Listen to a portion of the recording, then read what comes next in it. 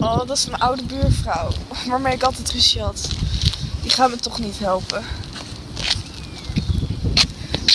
Oh, wat is er gebeurd?